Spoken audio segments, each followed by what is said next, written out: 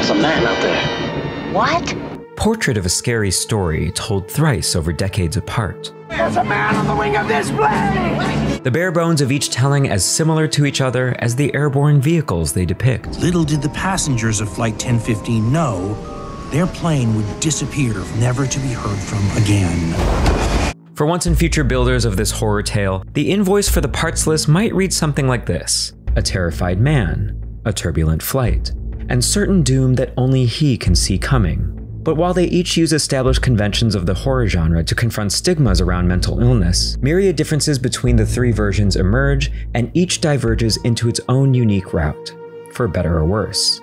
So, which of these nightmares stick the landing with clear eyed insight about mental health and what we owe to each other? And which are best left to sputter through the forgotten corners of the Twilight Zone? Nightmare at 20,000 Feet first took flight as a 1961 short story by Richard Matheson. The author of cherished horror novels I Am Legend and The Shrinking Man, among many others, Matheson reported that the seed idea of this story came to him in a hilariously mundane manner. I was on an airplane and I looked out and it was all these fluffy clouds and I thought, gee, what if I saw a guy skiing? across that like it was snow because it looked like snow. Matheson adapted the short story for the Twilight Zone's fifth season in 1963. The episode features a brooding William Shatner and direction by Richard Donner, who later went on to direct a very different tale about an alien creature in the sky. 20 years later, Matheson adapted his story again for a bigger screen in Steven Spielberg's 1983 movie adaptation. Star John Lithgow went big and refused to go home. And those bold choices were shaped and approved by George Miller, who directed the segment with his adrenaline boosting aesthetic he'd flaunted three years earlier in 1980's Mad Max. Jordan Peele's Twilight Zone reboot in 2019 eschewed the gremlin creature altogether in favor of a sinister podcast on a retrofuturistic player. Story credit went to reboot creators Jordan Peele and Simon Kinberg, as well as writer Marco Ramirez. Meanwhile, director Greg Yaitanes, whose credits include 30 episodes of House, knows a thing or two about main characters who piss everyone off by insisting he's the only one who knows what's really happening.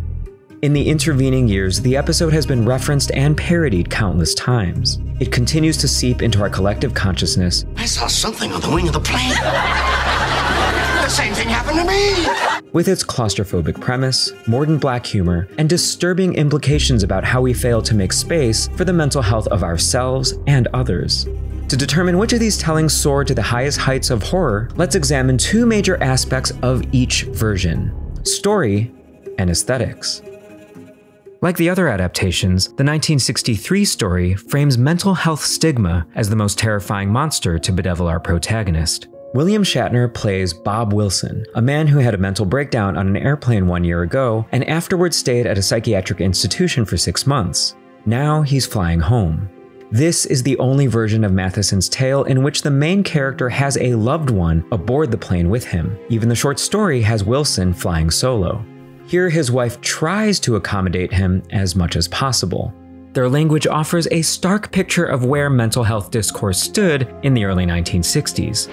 I'm not acting much like a cured man, am I? Honey, you are cured.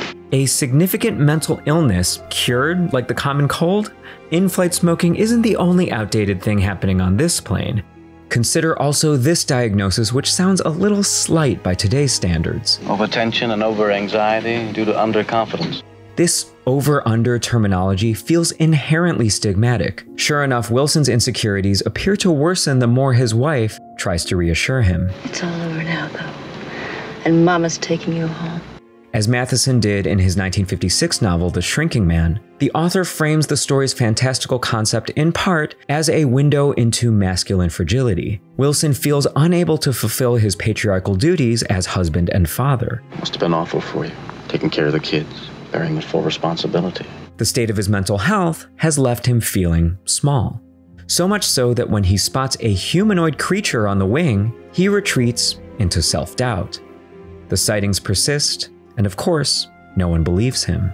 To heighten the horror quotient and the interpersonal drama, Matheson portrays everyone as trying. Julia tries to support her husband, but fears that he's not quote unquote cured after all. The crew tries to acknowledge Wilson's claim, but they coddle him instead. All right, you saw him. look, there are other people aboard. We mustn't alarm them. Wilson himself tries to report his observation while keeping the peace, but takes matters into his own hands when he realizes he has no true allies here. Horror is rife with this kind of story. Call it a Cassandra narrative, a Chicken Little story, or The Boy Who Cried Wolf. The great pity of Wilson's situation is that it's his mental health history, as much as or possibly more than the content of his claim, that renders him untrustworthy in the eyes of his wife, the crew, and even himself. The finest offerings of the horror genre often deal with powerlessness and isolation, and the 1963 adaptation is chilling in how it frames mental illness stigma as an invisible and insidious prison. According to a study by the Mental Health Foundation, last updated in 2021, nearly 9 out of 10 people with a mental illness feel stigma and discrimination negatively impact their lives. They also state that those with a mental health issue are among the least likely of any group with a long term health condition or disability to find work, be in long term relationships, and be socially included in mainstream society. Wing walking gremlin aside, the poison dynamic of Wilson's situation is common even today. Nevertheless, folks battling stigma find ways to prevail. In a bonkers move that surely would have seen his spine pulverized in real life, Wilson opens the exit door and vanquishes the gremlin once and for all. This outcome lives somewhere in between triumph and tragedy. As is sadly common for people struggling with mental health, Wilson's struggle is understood by him and him alone, and so is his victory. It's all right now, darling. I know but I'm the only one who does know. Meanwhile, the episode's aesthetics align in compelling ways that make us feel Wilson's anxieties at every turn. Director Richard Donner amplifies the uncomfy vibes with stark shadows, lightning and thunder effects that provide a heightened campfire tale effect, and tense selections from the Twilight Zone music library. His most notable creative choices, however, involve this bad boy. You may find this character design more campy than creepy, and you could be forgiven for thinking that what's considered goofy ass by modern standards was considered frightening six decades ago. It turns out, even back in 1963, an actor in a Bigfoot costume was considered more than a little ham fisted, at least by the original author. Years later, when Matheson reflected on Donner's execution of his script, the author candidly shared that he preferred the vision of Jacques Tourneur, director of Night Call, one of Twilight Zone's creepiest outings, as well as horror classics Cat People and I Walked with a Zombie. Said Matheson, I didn't think much of that thing on the wing. I had wished that Jacques Tourneur had directed it because he had a different idea. Tourneur was going to put a dark suit on him and cover him with diamond dust so that you hardly saw what was out there. This thing looked like a panda bear. It's not just the monster's design that feels comedic, its physicality and physics lead to absurd imagery. It shuffles about the wing fully upright with no indication that it's battling against high winds and g forces to stay attached. This creature ambles around on the wing with all the menace of a dad putting on the morning coffee in his kitchen, it's uncertain whether Donner intended for these monster moments to play as comedy or if he simply battled time and budget constraints as a first time Twilight Zone director. He went on to direct six more episodes, so Rod Serling at least was pleased. Regardless of intent, the humor surrounding the gremlin doesn't deflate the tension, it enhances it. The campy theatrics of the creature's appearance make the situation come off as some kind of bad cosmic joke, a full on existential prank show that has cast Wilson as its unwitting star. The utter ridiculousness of the visuals make these monster sightings all the more unbelievable, rendering Wilson that much more unwilling to believe himself and unable to convince passengers of what he's witnessed. It's almost like the universe is gaslighting him and does so with a cruel and twisted sense of humor that we, the viewers, snicker along with this sadistic universe makes us the gaslighters too, complicit in building Wilson's invisible prison of mental health stigma. The monster might be funny, but the distress it inspires is no laughing matter. The screenplay Matheson wrote for the 1983 movie hews closer to the simplicity of his original short story. Gone are the spouse and the developed backstory of the protagonist, called John Valentine in this version. All we learn about Valentine here is that he's a computer engineer of some repute. Do you really read this stuff? I wrote it. Whereas the 63 version centered on Wilson's shortcomings as a family man, the 83 version emphasizes Valentine's intellect as the source of his distress. After all, he stokes his death anxieties with current events and sobering statistics. Actually, the chances of drowning in the bathroom, bath tub, something like 800 thousandths of a percent. The movie paints this nervous tech head as simply too brainy for his own good.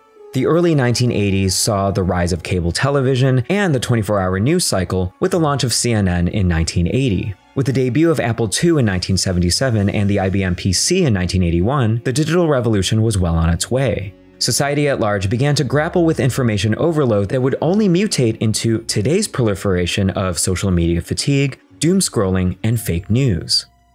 This adaptation seems focused less on the mind of the individual and more on broader forces like the rise of the information age or the breakdown of group dynamics in the face of crisis.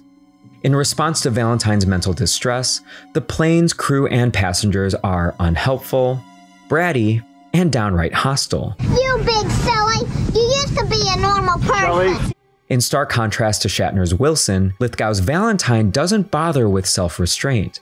The everyone is trying ethos that turned the 1963 version into a pressure cooker has now been replaced with all out chaos. Miller favors aesthetics over story to make us feel the horror, and that experiential approach certainly makes these events more immersive, but immediate thrills can come at the expense of lasting resonance. Miller presents a cold and glib worldview where even our hero's triumph feels empty. Valentine confronts the monster, but doesn't necessarily defeat it. The monster gives a devious finger wag and then flies away of its own volition. Did Valentine somehow scare it off? Or was this finger wag an indication that this attack went exactly as planned, perhaps as the first phase of a larger scale assault? Did Valentine play a role at all in vanquishing his monster, whether it was imagined or real?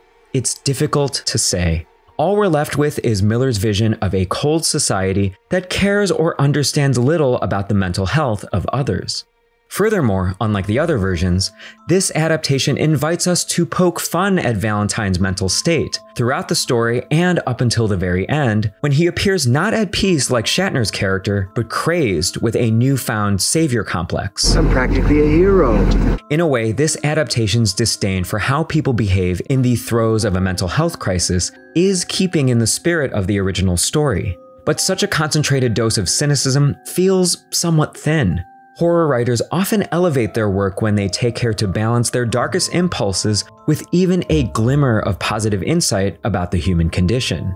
Aesthetically, the 1983 version flips the configuration of drama and comedy seen in the 1963 version. Instead of straight laced human characters and a humorous monster, director George Miller offers a collection of comedic human characters against a monster that invokes genuine terror. The early 80s was a golden age of practical effects and horror, and George Miller's realization of the gremlin shines alongside the era's greatest highlights like American Werewolf in London and The Thing. It's likely the movie version gifted Matheson with the creature feature he longed to see the first time he adapted his story for the screen.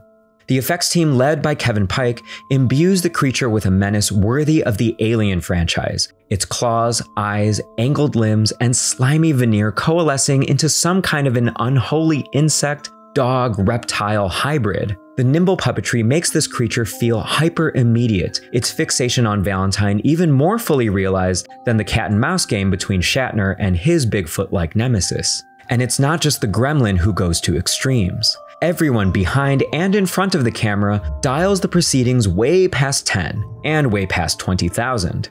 To amplify Valentine's distress and isolation, Miller invites cinematographer Allen Daviau to throw everything into the kitchen sink here hard blue lighting, fog, frenetic handheld camera shots with wide angle lenses, and vertiginous shots stretched and squeezed in post production. Meanwhile, one of my favorite editing sequences in all of cinematic horror begins with this sustained shot of Valentine, a welcome reprieve from all the preceding chaos. The shot boils into dread the longer it holds on Valentine, and it lingers for a tense 1 minute and 43 seconds as he slowly intuits that the monster lurks nearby. Very nearby. Then the tension explodes with this fabulous subliminal gag. It appears that Kevin Pike's effects team created some practical effects around John Lithgow's likeness just for this blink and you miss it moment, suggesting that Valentine and Gremlin are one and the same, deepening Matheson's grim portrait of mental health stigma. While Valentine sees the gremlin out on the wing, everyone on the plane perceives him as the vicious monster. Miller also pumps this maximalist aesthetic into his Mad Max series as well as his recent feature 3000 Years of Longing. Matheson seems less convinced that this maximalist approach was the right way to go. Lithgow is a wonderful actor, but uh, and he did the best he could. But I think he was asked to do an impossible job to start at 100% hysteria and work your way up from that. But this high anxiety cacophony is undercut with bone dry humor that comes from its cavalcade of eccentric characters. I think I spilled my drink. Similar to caustic satires like Veep or Arrested Development, no one here, not even Valentine, is particularly sympathetic. S M O K I N G. No smoking. So when Miller dials things up to 20,000, the domineering chaos lands as one big relentless farce. Whereas the universe's cruel joke was on Shatner's Wilson alone, here the joke is on everyone because the joke is everyone. Miller's maximalism makes monsters and victims of all of us. In this adaptation, mental health stigma isn't a route that starts at point A and terminates at point B, it's a vicious, all consuming cycle. Whereas the 83 version stripped the story down to its bare essentials and left the narrative perhaps a little too bare, the 2019 story overloads its baggage compartment and sends this tale into a tailspin. In Nightmare at 30,000 Feet, Adam Scott plays Justin Sanderson, an international journalist who finds a vintage looking MP3 player that plays a podcast, apparently from the future, describing this very flight as one that's mysteriously vanished. As Sanderson listens to the podcast, he works to stop the flight's doomed fate. But in an unsurprising twist, he ends up causing the plane's very disappearance.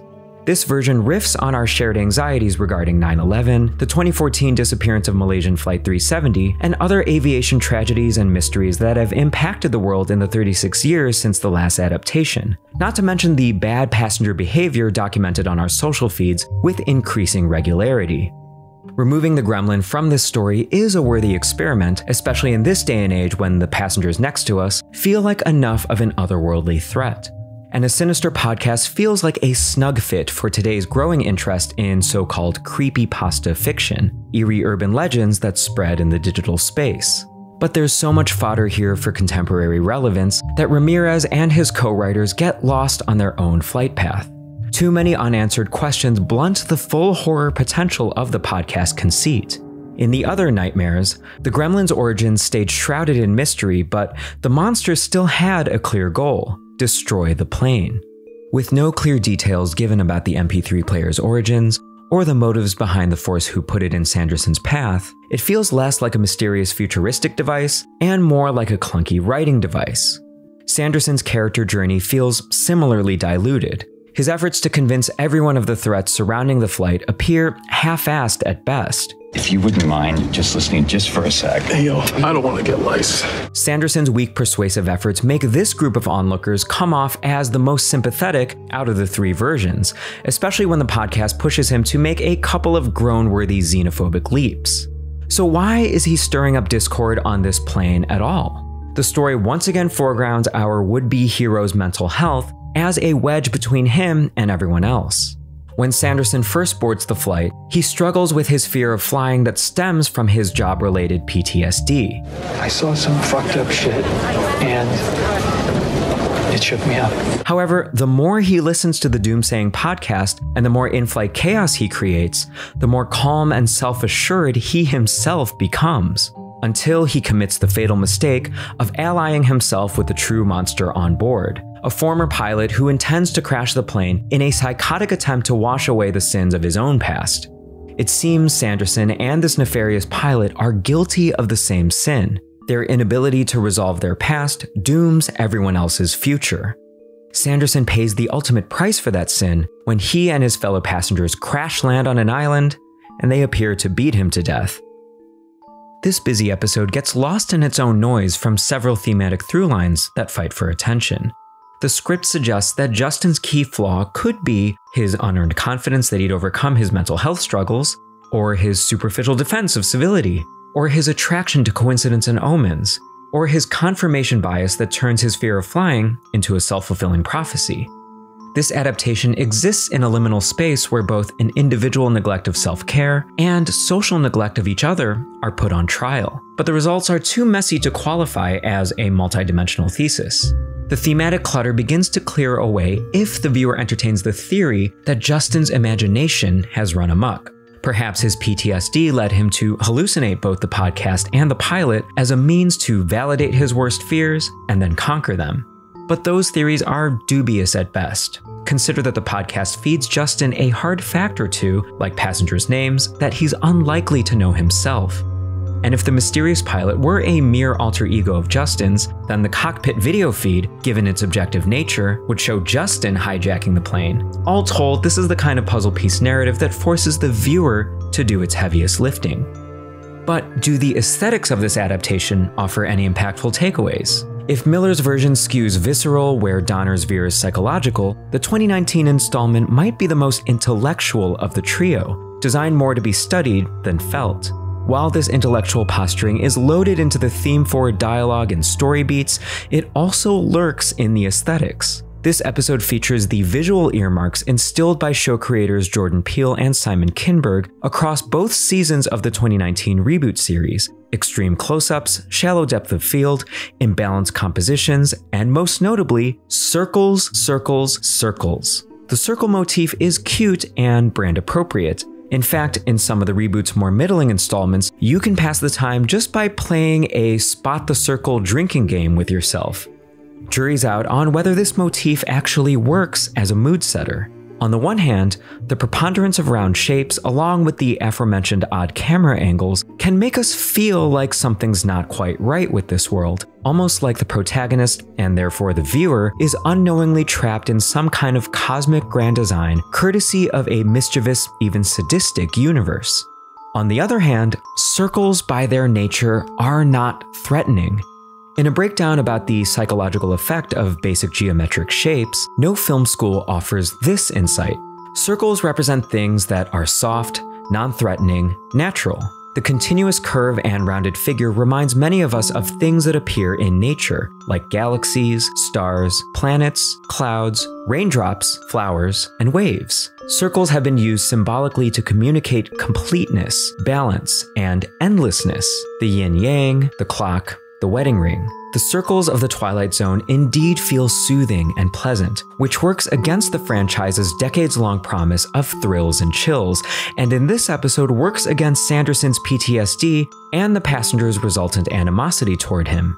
Nightmare at 30,000 Feet, like the 2019 reboot at large, attempts to engage us on a philosophical level, but falls short of grabbing us on a visceral or psychological level, despite cinematographer Craig Wrobleski's thoughtful shot choices that do work to bring us into Sanderson's feeling of isolation. Like many of the other creative choices at play, the visual style of this nightmare shows thought and ambition, but overshoots the runway. The finale of each adaptation contributes to its particular takeaway on mental illness stigma. After Wilson and Valentine confront their monsters, Matheson hints at potential vindication by ending on the physical evidence left by the gremlin. Nonetheless, that vindication is far from guaranteed. Wilson's and Valentine's similar stories are a powerful reminder that mental health stigmas are often so isolating that even when people achieve victories related to their mental health, few, if any, people in their lives can understand or empathize with those victories.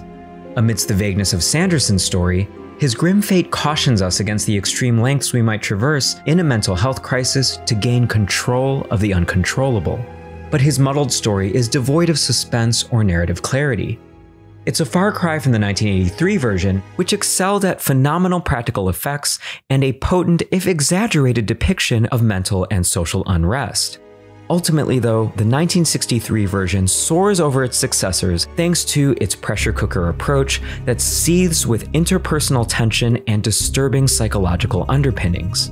Whatever the decade, the story of a person in distress trapped aboard a plane with a monster that only they can see has gone from a sci fi writer's fleeting flight of fancy to a contemporary allegory forever etched into our collective consciousness. For as long as people respond to mental illness with fear instead of empathy, the legacy of Nightmare at 20,000 Feet will remain sadly relevant in our own dark skies and in the Twilight Zone. But which of these three nightmares are most likely to keep you up at night? Sound off in the comments, and also let us know which of the actors' alter egos would produce the most creative victory over the gremlin. Captain Kirk would vanquish the gremlin with a screeching tribble. Winston Churchill would hire the gremlin as his assistant and bark commands at it until it quit. Or Mark S. would undergo severance and leave his innie to battle the gremlin in a labyrinthian cubicle farm. Vote now!